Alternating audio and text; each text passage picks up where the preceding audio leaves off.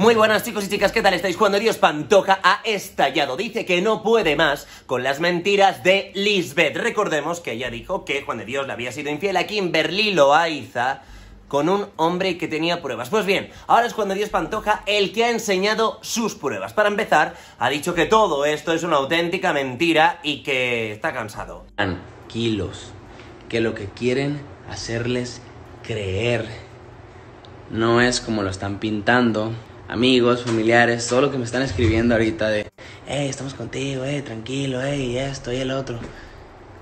Todo bien, yo estoy bien.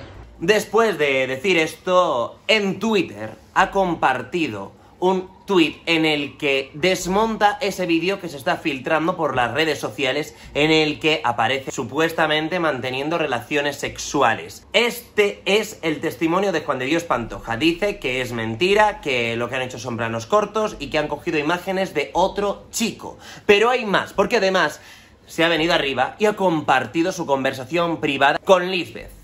Mirad lo que dice Juan de Dios Pantoja. ¿Por qué eres tan mentirosa? ¿Con qué pruebas o razones te atreves a inventar esas tonterías? Se nota que estás desesperada, pero no quieras darte a notar con ese tipo de mentiras. Nosotros ni nos metemos contigo. Lisbeth contesta, mejor respeta a tu esposa. Es momento de reivindicarte, ya tienes una hija y más te vale que ni comiences a inventar cosas porque te recuerdo que tenías fotos de menores de edad.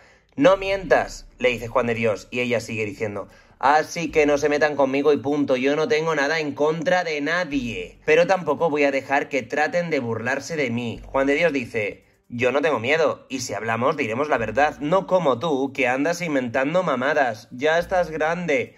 Lisbeth contesta, exacto, la verdad. Y Juan de Dios le reta, júralo por tu hijo, que lo que dijiste es real.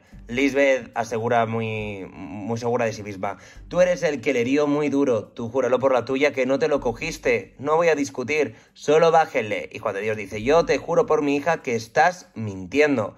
Ella añade, no voy a discutir. Solo bájenle. No se metan conmigo, que yo no me meto con nadie. Bendiciones. Juan de Dios replica, ¿te consta? Hazlo. Yo ya lo juré. Yo me metí contigo. Lisbeth le aconseja, mejor aléjate de Kevin para que no te siga metiendo en problemas. Neta, es tu momento, la familia es lo más importante, debe ser horrible que aparte de que le seas infiel a Kim, lo tengas ahí metido. Esas son mamadas y tú lo sabes, adiós. Y cuando Dios aquí pierde los nervios y dice, no seas mentirosa, Lisbeth, no ganas nada, vas a perder. Y dice ella, éxito, yo no tengo nada en contra de ustedes, repito, solo no se metan conmigo, controla a tus compañeros. No miento, solamente le contesto a quien me ataca. Tú sabes que es verdad, ¿de qué hablas? O en su defecto, mejor dile a Kevin que no mienta. La información salió de él, amigo, hasta dijo que fuiste muy agresivo. Juan de Dios se queda flipando y dice, what the fuck? Y ella dice, algo así fueron sus palabras. Y Juan de Dios añade, ¿tienes alguna prueba de lo que hablas?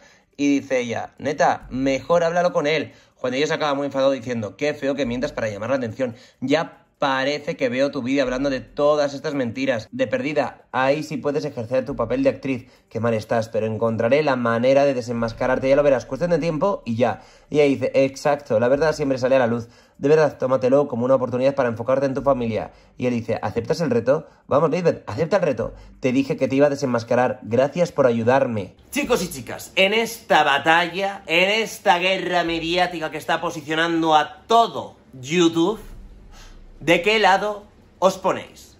¿Del de Lisbeth o del de Juan de Dios Pantoja? ¿Qué pruebas os creéis? Bueno, yo voy a decir que por el momento, por el momento, yo me voy a mojar. Lisbeth, siento que no ha enseñado pruebas que nos puedan demostrar que lo que dice es verdad. Solamente nos tenemos que basar en creer lo que dice o no.